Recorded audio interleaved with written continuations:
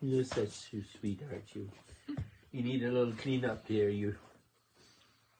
We give a couple days and uh, I could see his belly, of course, start drying already, huh? Yeah. Slowly. Mm, He likes my hand. He said, that's a warm hand. That's the thing, when do you realize that?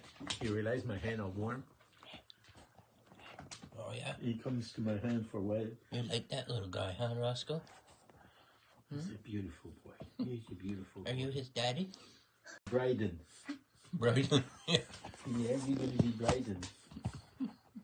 Huh? Are you gonna be Briden? You like him, huh, Roscoe? The mascot of the, the mascot of the, the Briden, farm. we'll make your name Briden. Okay, so there you've heard it, folks. His name is gonna be Briden, and sadly, his mom rejected him for whatever reason.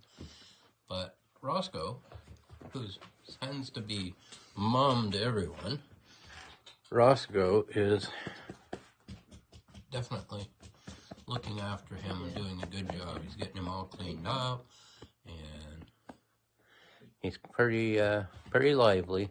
Our our newborn lamb, I think you just heard it here. His name's going to be Briden. So Briden Farm. That's our first little lamb born here, and He done this. that that floor's a little bit slippery, isn't it? Huh? Hmm. There we go. All right. Hey, Briden. He likes my hand because they're warm. Hey, hey, hey, hey, Briden.